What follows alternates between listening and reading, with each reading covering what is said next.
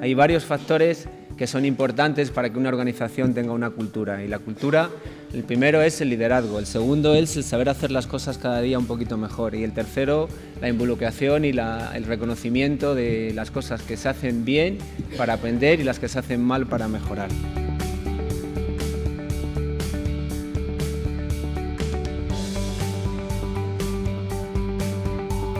Con este seminario, pues lo que realmente queremos hacer es aportar nuestra contribución a, que los pacientes dispongan de la mejor calidad asistencial eh, en las mejores eh, condiciones de seguridad clínica. Y creemos que, bueno, que esto es una buena forma de incentivar que esta cultura se fomente dentro del entorno. Que estamos trabajando de una forma muy sostenible en el campo de la seguridad del paciente, pero en ninguna forma podemos mostrarnos eh, satisfechos y debemos continuar con perseverancia. No hay calidad sin seguridad. Y trabajamos y nos esforzamos cada día con el objetivo de hacer las cosas cada vez mejor para alcanzar la excelencia asistencial. It's not just about one quality department. It's about every department in the hospital being quality.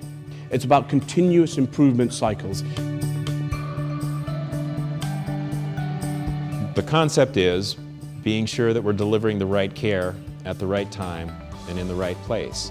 Places now are not just physical places, but they're virtual places. They're technological environments that our patients seek care in. They're the opportunity to bring expertise to the problem without the constraints of geography and time. In Scotland we have care opinion.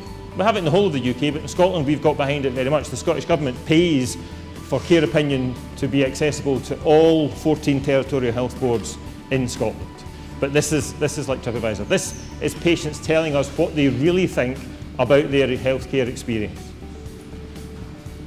And we listen to them.